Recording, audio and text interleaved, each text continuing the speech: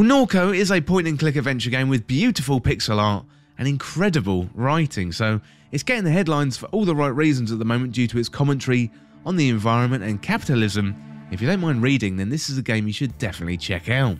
You may remember point and click adventure games from the 90s, greats like Day of the Tentacle, Secret of Monkey Island, Grim Fandango, and many, many more. You know, great point and click adventure games never really went away. There's been some excellent releases recently, including Strangeland in 2021, Unavowed in 2018, and Lamplight City also in 2018. Yeah, it does feel like 2022 is having somewhat of a renaissance when it comes to these games, getting some headlines, and Norco is definitely one of the main drivers of that trend. Well, Norco is a southern gothic narrative adventure that immerses the player in the sinking suburbs and the verdant industrial swamps of a distorted South Louisiana. Your brother Blake has gone missing in the aftermath of your mother's death. In the hopes of finding him, you must follow a fugitive security cyborg through the refineries, strip malls, and drain his ditches of suburban New Orleans. So Norco is from developer Geography of Robots, and one of the main writers, Yuts, originally comes from the real-life Norco, which is most likely why the game feels so authentic. You're in the game, the story follows Kay and she comes home to find her devastated brother mourning the death of her mother. Now, the game is set in the near future, a twisted post apocalyptic America.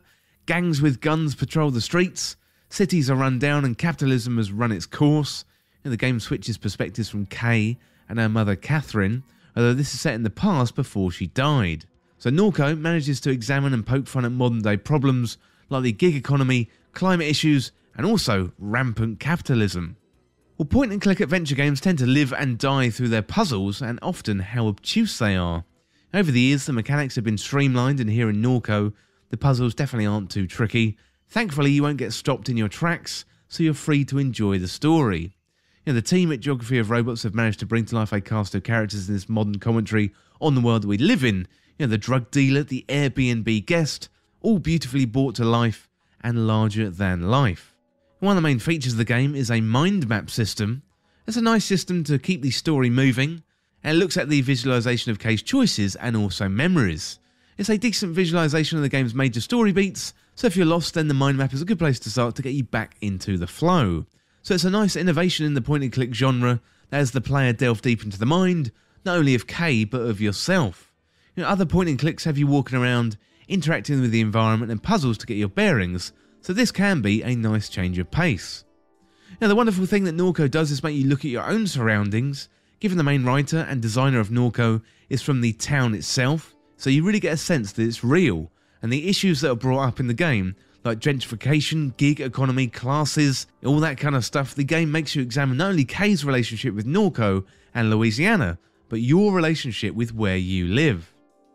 Norco probably won't be for everybody, this is a very talky game, rather than a doey game, and there's definitely lots of reading. You've got the character building and development, but for me, it's a really good demonstration of some of the best writing in video games in 2022.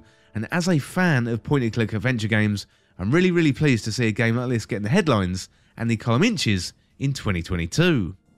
Well, the game was developed by Geography of Robots, it was published by Raw Fury, it's out on PC and Xbox, and I reviewed it on Xbox Game Pass on PC, and it was originally released on the 24th of March 2022. Well, that is it for my review of Norco, and as always, thank you so much for watching. Hit that subscribe button down below and subscribe to This Week in Video Games. Or you can check me out on Twitter at TWIVG Podcast. If you enjoyed this video found it useful, liking and sharing the video would really help me out. Otherwise, check out the other videos on the channel. Well, thanks again, and I'll see you soon.